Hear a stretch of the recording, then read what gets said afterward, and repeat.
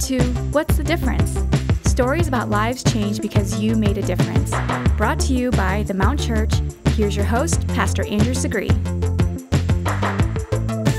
Well, hey everyone, welcome to the third episode of What's the Difference? We created this series because we believe that Jesus is still making a difference in people's lives today. So, with each and every episode, you're going to hear from everyday people just like you, just like me, and we're going to ask the question what's the difference? What's the difference that Jesus is making in your life today? So be sure to hit that subscribe button so you never miss an episode. And hey, even give us a thumbs up as well. And so for today, for this third episode of What's the Difference, I'm so glad to welcome Jason and Lakin and Isley to What's the Difference. Welcome, guys. Thank Yeah, you. Thanks so thank much for having us. You know, guys, I'm so glad to have you on here, and we're going to hear your story in just a little bit.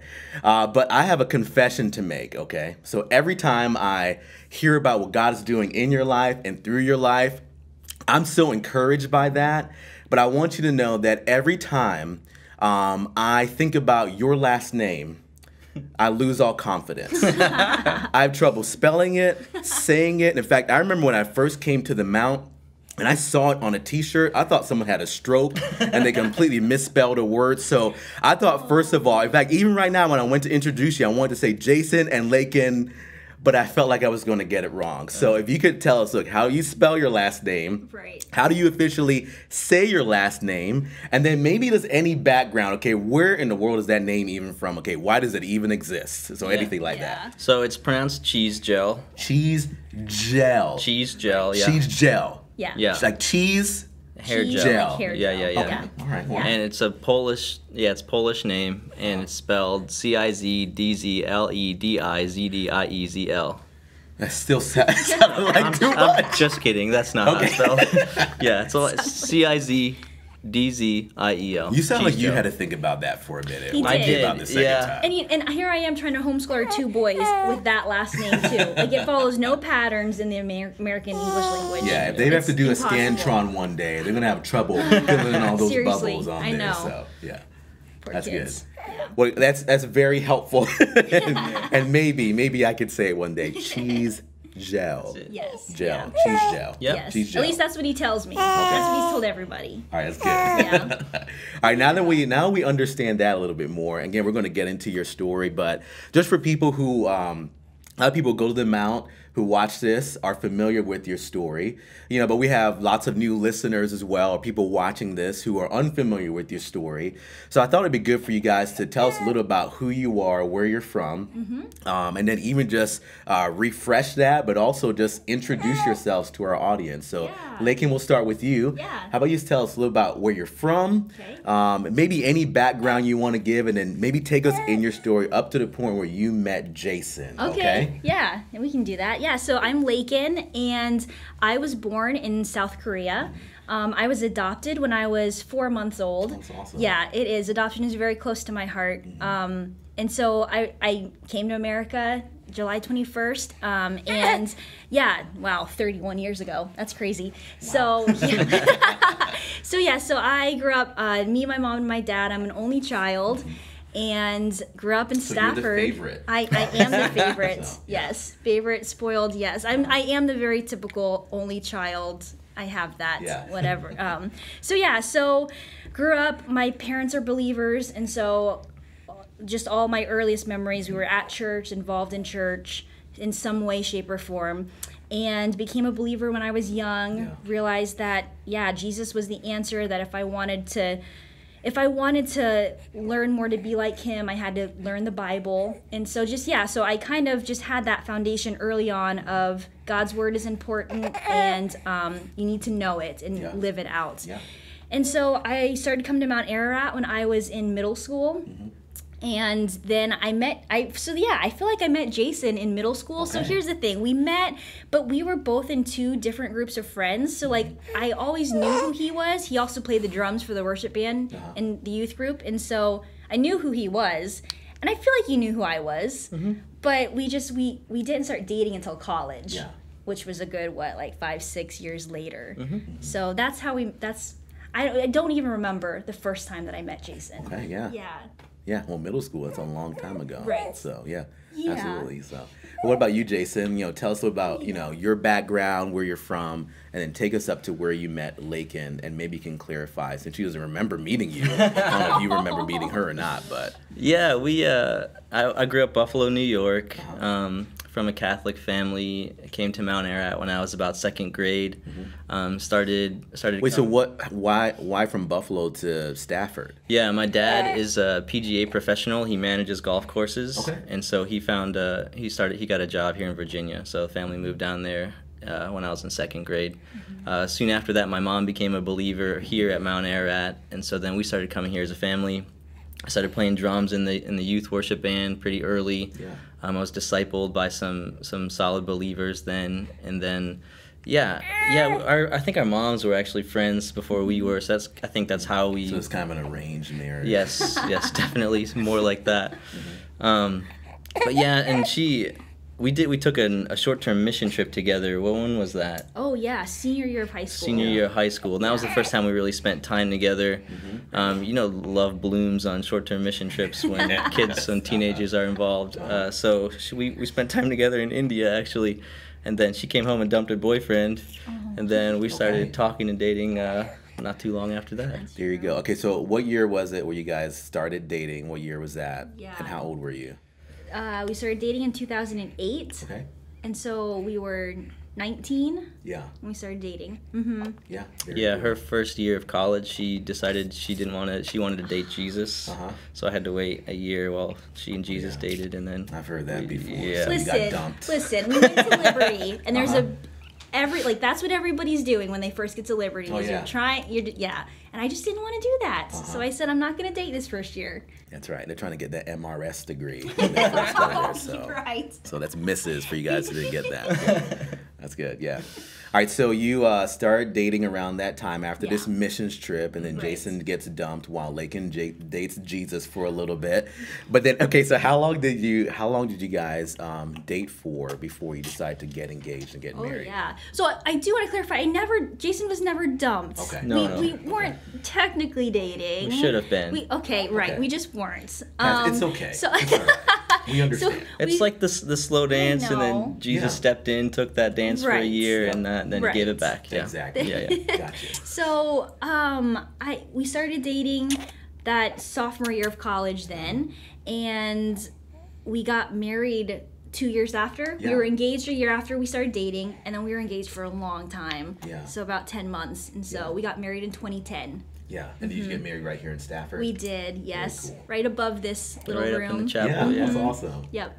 Very good. So you guys get married, Mm-hmm. um, and then, you know, most people want to have the American dream at that point. They want to have, you know, a three bedroom, two and a half bathroom house, their two point five kids, and a decent job. Mm-hmm. But you guys um, decide that's not what we want to do, and you know, this calling comes on your life. How did that come about? That you want to become missionaries?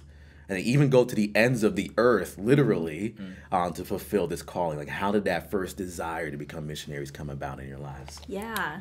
Yeah, for me it was that that first trip to India that we went on, and I, it's hard it's hard to call it like a standard calling. There was no like supernatural voice or and it was I can pinpoint the moment though that I remember feeling like God was stirring something in my heart. We were on a on a bus in India. Our plans had fallen through. Something went wrong. Yeah. And this missionary couple that was hosting us, they were uh, kind of in like the front of the bus and they got into this argument Yeah. because plans had changed and it was stressful. And so we, I remember all of us sitting in the back of the bus, kind of like kids when your parents are fighting, like, uh oh, the missionaries are fighting. Uh huh.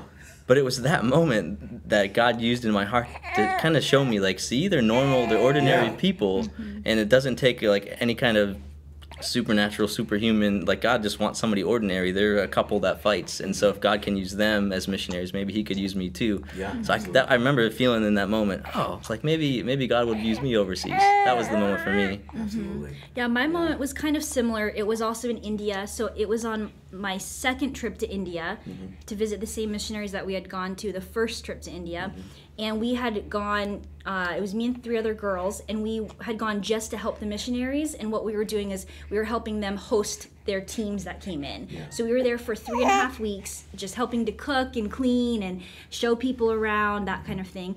And it was living with the missionaries that I just saw, again, kind of like what Jason was saying. They're just regular, ordinary people who love the Lord and who want to make a difference with the gifts that they have that the Lord has given them. And they were doing that well in India. Yeah. And so it was just really neat to see how God could use that to uh, further his kingdom. And yeah. And so for me, it was just that little seed of, wow, maybe I could do this too. Yeah. Like there, yeah. Yeah, that's really good. Yeah.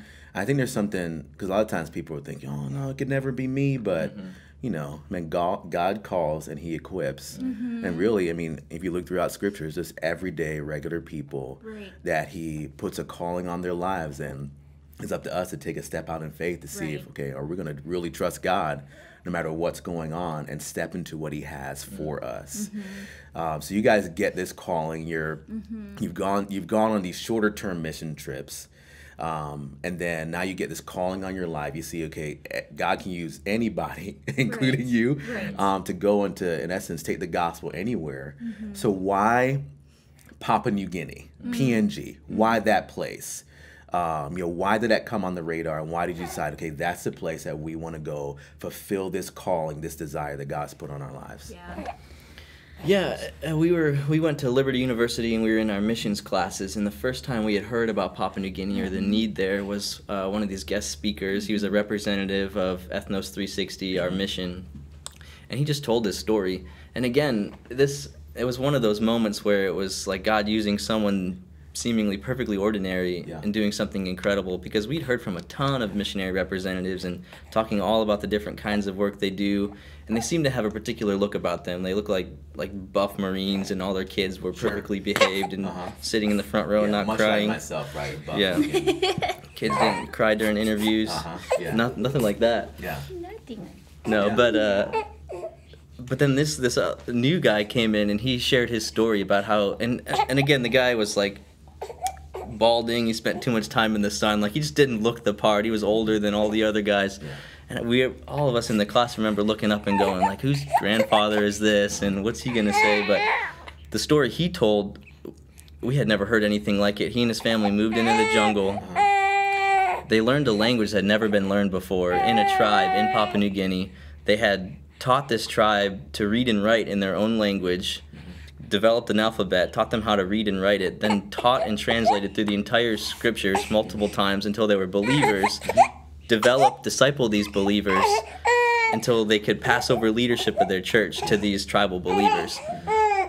So now they were back home in the States and they had this maturing church in a jungle tribe where there had never been any gospel Yeah. witness before. And this and their church was sending out tribal missionaries to other tribes. We'd never heard a story like that. yeah. So that was that was what kind of intrigued us is wow, there are these tribes out there, a ton of them in Papua New Guinea specifically.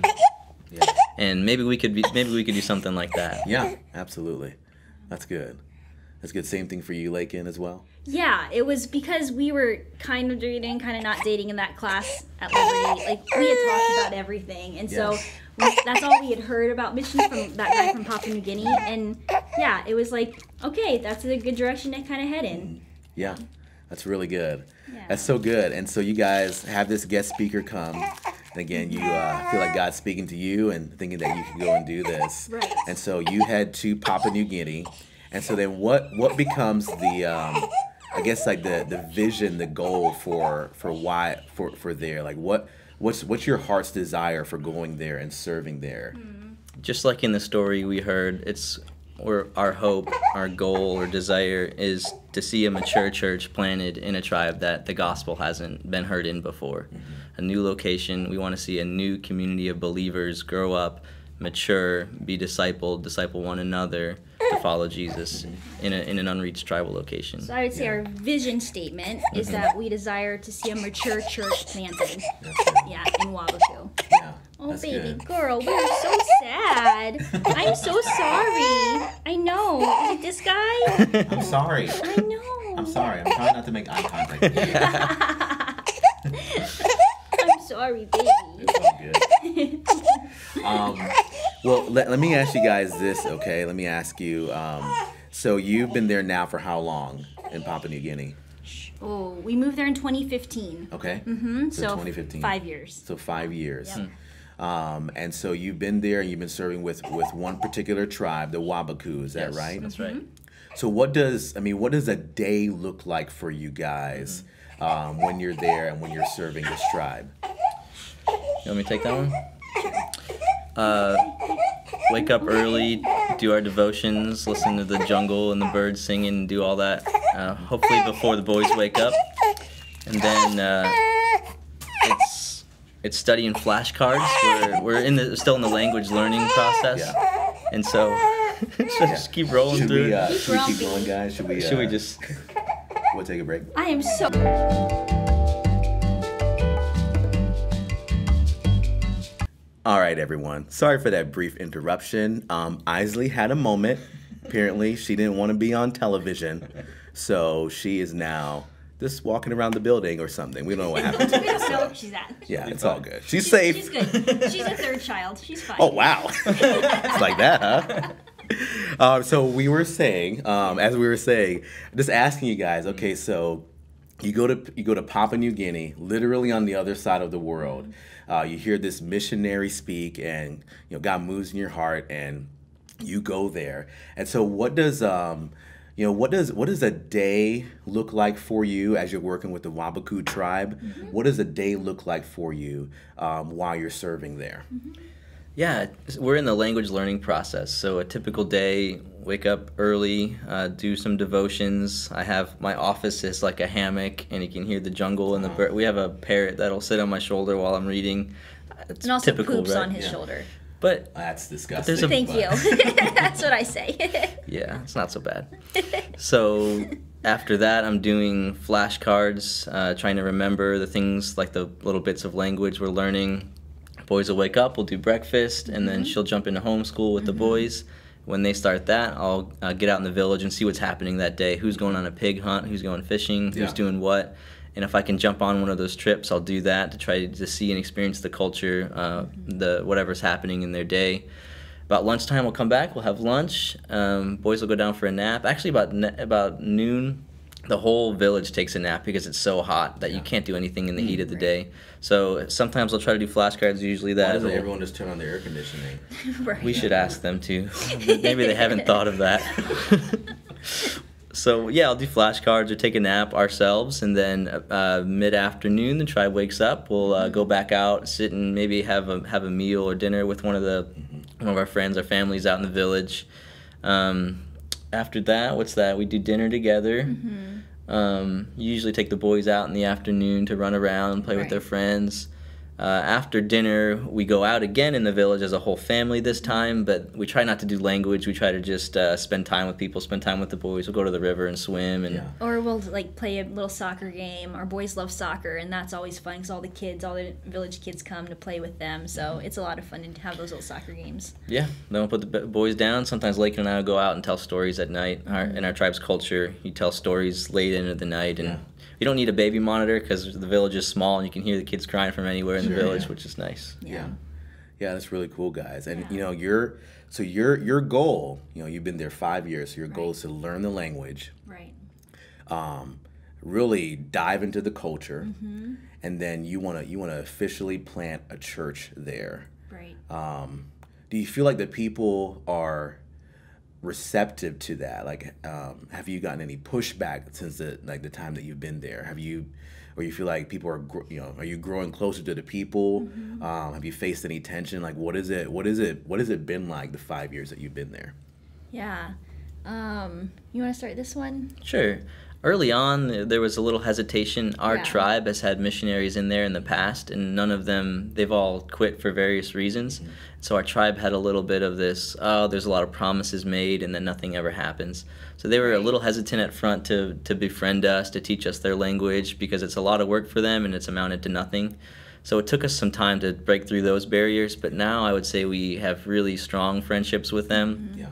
Uh, it's, it, I mean, we're not finished learning the language yet, but I think every time we go on a break and come back, it kind of strengthens that. Hey, maybe these guys are gonna stick around. Mm-hmm. So yeah, that, that was that was challenging early on. Also, we just we have great memories. We I'm kind of known as a jokester in in the village. is, yeah. Like uh, just simple things. You bring like a rubber snake and you hide it under their cooking pots, and they love it and scare each other with it for weeks and weeks. It's just but making good memories like that has gone a long way Yeah. to break some of those barriers of hesitation to befriend us. Yeah. And I mean, even just like our day to day life, uh, we just, like the boys and I, when we're done with school, we'll go down to the river, help someone wash their pots.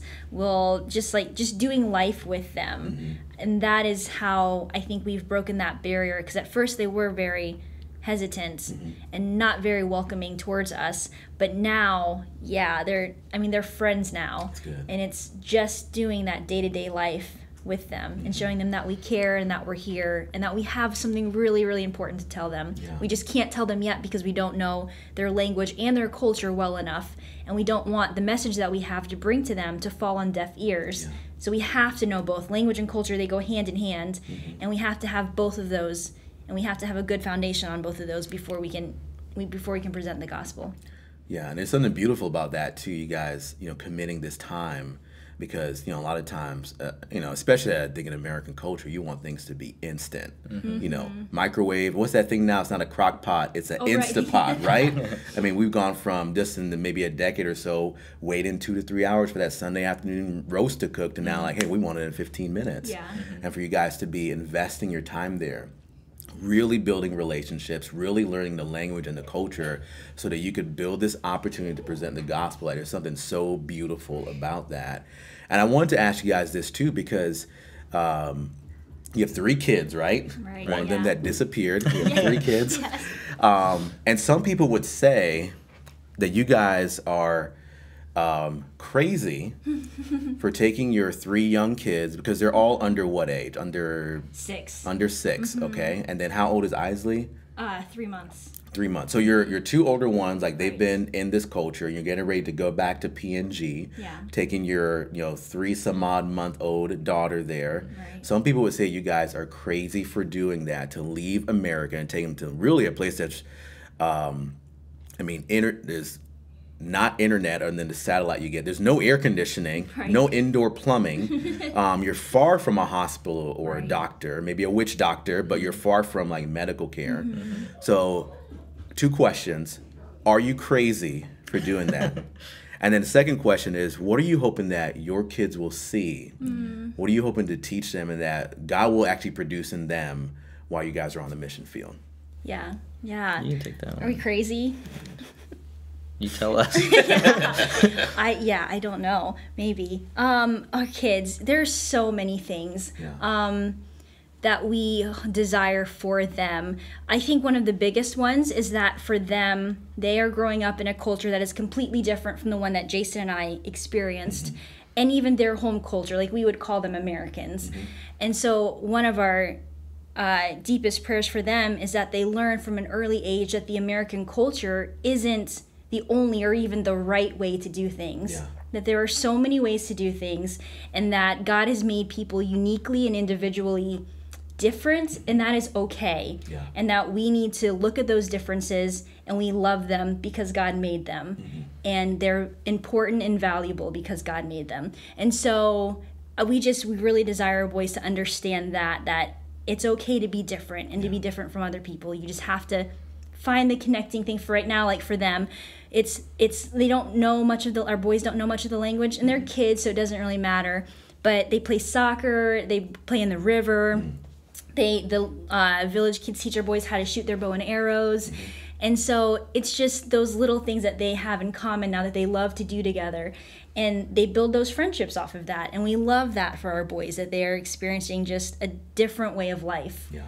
Um, yeah And we also love that they understand their role in our ministry. They're not extra baggage. They're not just along for the ride. Right. When when uh, we're walking through the village, maybe to the river in an afternoon, when there's something, we'll kind of as like a almost like a show, but we'll say Thatcher Copeland stop, and they'll stop right where they are. We've trained them to listen and make sure they do this. Yeah.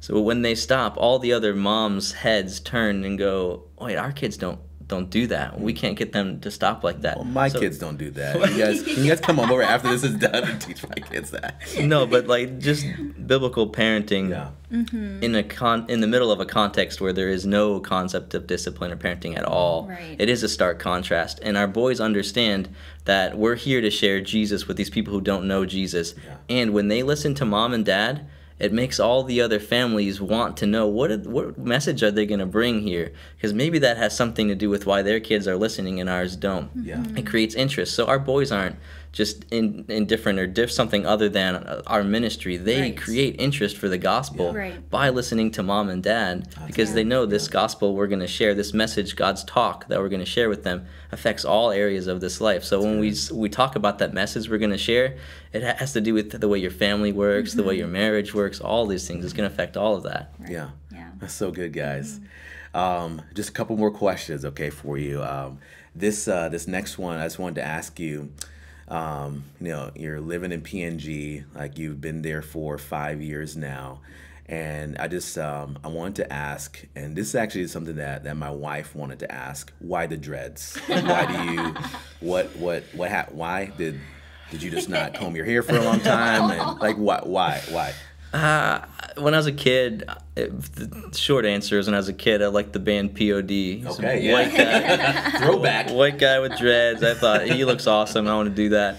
Um, but more recently, I like that it's the dreadlocks have become a symbol to me of the longevity and the endurance it takes to do what we're doing. Well, My last haircut was when we first started training to prepare to do what we're gonna do. That's just, mm, like it, it's like it's like to my thighs now Yeah. We still haven't actually shared the gospel yet. Mm-hmm. So I love the idea of standing up there, sharing the gospel, and seeing how long that's how long it took to position ourselves, to have the relationships, the language, to understand the culture, to even get to announce the gospel in an unreached people group, mm-hmm. including the training. That's that's how long the process. So to me, it's a symbol of endurance. Not a lot of people have it because it's they're a pain. They're Right. really it, ta- annoying. it takes a lot of work. Like contrary to popular belief, like it. I mean, I can find it does just happen. Like if you just don't brush your hair for, but like he like he's worked really hard to get like to get that. Like it takes a really long time to the upkeep and yeah. Yeah, Lakin, so are you next? You wanna- So I did have them, and I chopped them off because they were just way too hot. They're heavy. They're not practical They're at the not end. at all. but they are a reminder of the goodness of God, right? So Sure. what He's doing Yeah. in you and through you. And then um, I did want to ask you guys, you know, you've with with all that God has done in you during that time. I did want to ask you maybe what's something that you could you could look back. I know it's probably so many things, but what is something that you can look back and say, man, I'm I'm so glad that we went, mm-hmm. and I saw I saw Jesus make a difference, like in us or through mm. us in that moment. So what's something you can point back and say, mm-hmm. and only God could have done that while mm-hmm. you've been there. Yeah. I would say for me, it's been, we mentioned the barriers that have broken down, the relational barriers, uh, people that didn't want to trust another outsider, Yeah, a like a small people group, not used to outsiders, letting us into their lives. That we have a lot of stories of the way the Lord has opened doors for us, for people to trust us. Even those that stiff armed us, held us at a distance. We've seen the Lord intervene in really cool ways um, in order for those relationships to develop. And we look back and go, there's no way that would have happened on its own. But also, a second thing, not even like in the tribe, but even in our journey to to raise support and to get over there and do the training, um, the thing I look back on and I'm most excited about is that uh, Hudson and Gabby Center. We we lived with uh, the centers for like a summer. We were sharing with Hudson about what we're doing, and the Lord used that to kind of inspire their family. And now their little boy Will, they're headed over to PNG soon, and they're going to plant a church. They're going to give their lives to take the gospel to an unreached place. And to me, that just it feels real because we're going over there to disciple to disciple these Wabaku people, but like it shows that we're not we're not gonna wait. Like discipleship is what we do, even when we're mm-hmm. here on breaks, whatever we do. And so I love seeing that the Lord has developed them and used us to be a part of their story, mm-hmm. so that it's not just maybe they'll go to an entirely new tribe and then the gospel will get there because of what the Lord did in that. I love that too. yeah, that's so good. What about you, Lakin? I mean, even if it's just something what God has done in you or Yeah. through you, like during that time. Right. I think so. One of the biggest lessons I think that I've learned since being overseas um, really is just about. Uh, I feel like he's just revealed so much of my sin. So like so we grow up, we have all these presuppositions and all of these things that we think are true and we think are right. But when we align it with the word of God, we start to realize, oh man, maybe some of that isn't. Like maybe all those thoughts that I had weren't true and aren't real and because they aren't what's written in the in the word. And so I think for me it's realizing and understanding more about myself and the things that I've held on to and the things that I've thought were true that aren't necessarily true and and that they're um, that I just never lined it up lined it up with the scriptures before. And one of those biggest things um, I think is just learning about my preferences. So we go over to PNG and we do training and we've we, we've we've yeah we've given our lives for this. We've trained for six years to do this. We're finally over there and we get there and we realize that there are different places you can go in papua new guinea you can go to the mountains which the highlands uh, you have fresh fruit it's the cooler weather not malaria because there are no mosquitoes and then there's like the swamp region where there's malaria because there are so many mosquitoes and it's hot and sticky and you can't grow things. And so, of course, I'm saying, we're going up there, babe. We're going to the mountains. Yeah. And I'm putting my what I foot down and I'm drawing a line in the sand saying, I'm not going to the swamps. And just then, the Lord working in my heart and in my life to tell me that, man, those things are just preferences that I have. And am I willing to give those up? for the gospel. And so we did. We ended up going to a really hot tribe in the swamps. They call it our they, nicknamed it the armpit of the Sepik Okay. because it just it, it really is kind of a terrible place because it's so hot. Yeah. And um and not a lot of places are as hot as our village is Yeah.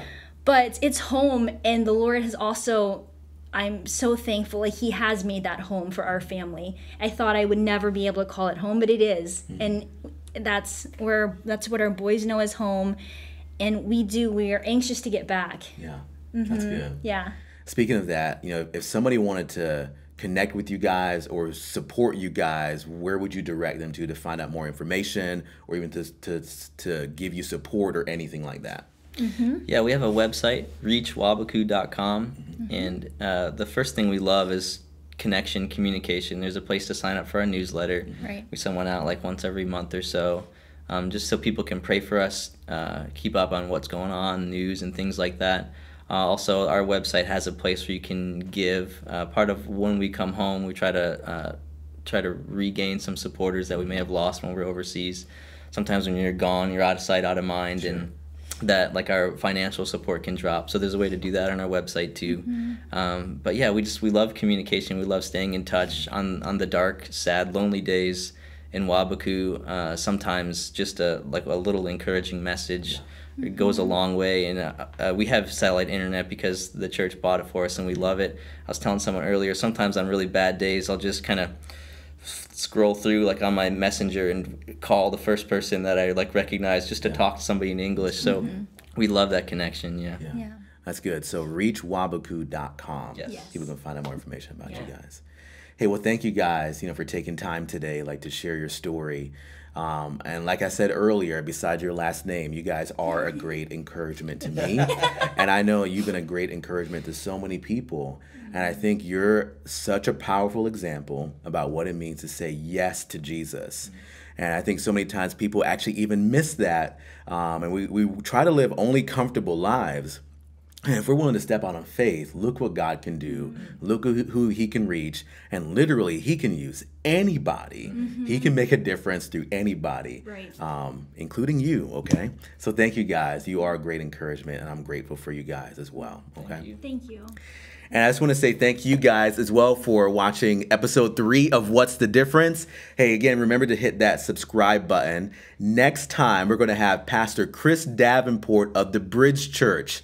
Um, Chris is planning a church in this area, and we're so excited to hear what God's been doing in and through his ministry. And you will not want to miss that episode. So make sure you hit that subscribe button, even give us a thumbs up for What's the Difference. Thank you for tuning in to What's the Difference? Click on subscribe to make sure you get the next episode with Pastor Andrew. Connect with us for more resources and information on how you can make a difference at mtararat.org. See you at the Mount.